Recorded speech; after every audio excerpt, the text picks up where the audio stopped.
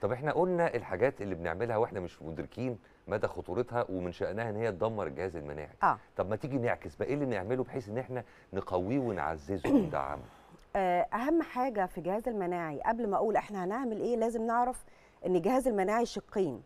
okay. آه، الجهاز المناعي آه، بيشتغل إزاي؟ أول حاجة إن آه، النخاع الشوكي والغدد الليمفاوية هي اللي بت- بتفرز لي كرات الدم البيضاء هي اللي مسؤولة عن ال antibodies okay. تاني حاجة الناس كتير مش عارفاها حاجة اسمها الميكروبيوم. ده إيه بقى؟ الميكروبيوم ده ال- البكتيريا النافعة اللي في الجهاز الهضمي. إحنا عندنا بكتيريا في الجهاز الهضمي يعني مش كل البكتيريا مضرة في بكتيريا نافعة. لو البكتيريا النافعة حصل لها خلل إحنا بوظنا خالص. عشان كده بقول لو أي حد عنده مشكلة في الجهاز الم... الجهاز الهضمي هيحصل له آه، مشاكل في المناعة جامدة جدا. طيب آه، يبقى أنا عندي ال- ال- الحبل الشوكي أو آه، ال- الحبل الشوكي أو الغدد الليمفاوية بتفرز لي ال white blood cells مع الميكروبيوم اللي هو البكتيريا النافعة. طب ليه بقول أهم حاجة أحافظ على جهازي الهضمي؟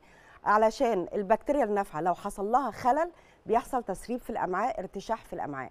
يمكن ناس كتير يا كريم مش عارفة يعني إيه تسريب الأمعاء. آه، مهم أحافظ على حمض المعدة. يعني يقول لي إيه؟ إيه المعدة؟ إحنا بناكل كل حاجة. آه، حمض المعدة مش مش مهم. أهم حاجة الأسيديتي حمض المعدة بتاعي. حمض المعدة بتاعي كويس يبقى لما هاكل الأكل البكتيريا اللي موجودة في الأكل هتموت لأنها ما بتعيش في حمض المعدة.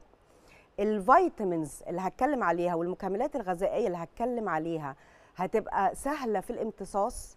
لأن لو حمض المعدة مش شغال كويس مش هيحصل امتصاص. طب ده إحنا عندنا موروث يا دينا بيقول إن إحنا كمصريين معدتنا تهضم الزلط. لا لا. ودايما بنتباهى بال آه والله الكلام ده بقى لازم نعيد ترتيبنا فيه مش كده برضه؟ مهم جدا إن إحنا نعيد ترتيبنا في القصة دي لأن أهم حاجة في جسمنا المعدة فعلا.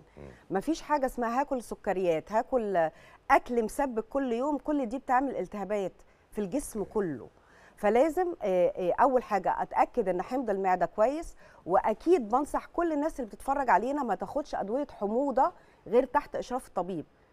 ده مهم. okay. أدوية الحموضة ما تتاخدش. والحاجات اللي بتأثر على على الجهاز المناعي الإفراط في ال antibiotics يعني ساعات تقول إيه أدوية مثلا كريم؟ الحموضة بصفة خاصة الناس بتاخدها بشكل آلي أوتوماتيك بعد كل وجبة من الصنف السمين. هقول لك ليه. بيفتكروا إن عندهم مثلا حموضة. المشكلة إن أحيانا نقص الحموضة بتعمل heartburn بتعمل حموضة هم ما okay. بيبقوش عارفين. بياخدوا أدوية حموضة عشان تقلل ال acidity وده خطر. ممكن يكون عندهم أصلا ال acidity آه، قليلة. okay. يعني لو هتكلم على الحموضة إزاي أحيانا الواحد بيحس بحرقان آه. إن المريء والمعدة بينهم صمام. آه.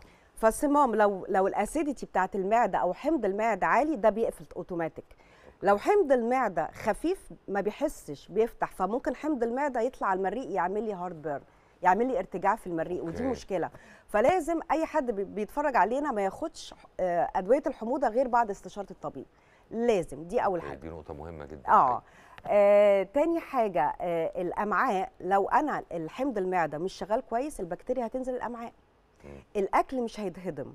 دي مصيبة إن الأكل ما, ما يتهضمش لأن الأمعاء فيها بكتيريا نافعة بتكمل الهضم عشان ما يحصلش إن الأكل يطلع بره الأمعاء ويعمل تسريب. أنت فاهم قصدي يا كريم؟ فاهم مش- المشكلة إن أنا فاهم عشان كده حاسس بخطر باللي أنت بتقوليه. ده موضوع كبير جدا. آه طبعا. هو الأكل أصلا ممكن يتسرب خارج الأمعاء. طبعا. دي بقى قصة حساسية الأكل. مش المفروض إن إحنا نحس بالأكل. مش المفروض إن الدم بتاعنا يستجيب أو يروح يهاجم الأكل يروح يهاجم البروتين. المفروض لو حمض المعدة كويس والأمعاء والبكتيريا ال- النافعة كويسة في الجسم خلاص البروتين بيتهضم لأحماض أمينية. الدم بياخد يمتص الأحماض الأمينية ما بيمتصش بروتين. وانس ان حصل حساسية للأكل حساسية للجلوتين حساسية لللاكتوز نعرف ان في خلل مناعة. ليه بنعرف ده.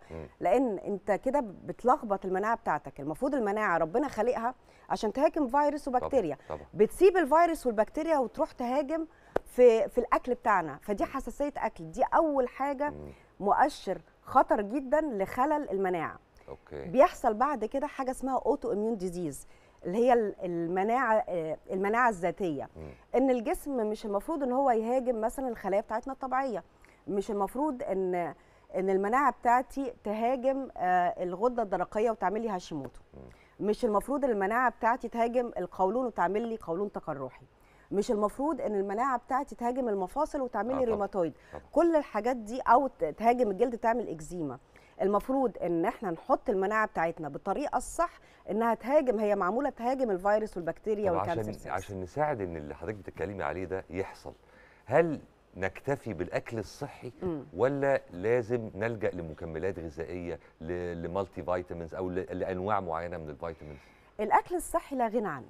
يعني لازم مع ال multivitamins. طبعا أنا جاية معاك النهارده هتكلم على multivitamin أو مالتي فيت مكمل غذائي هايل.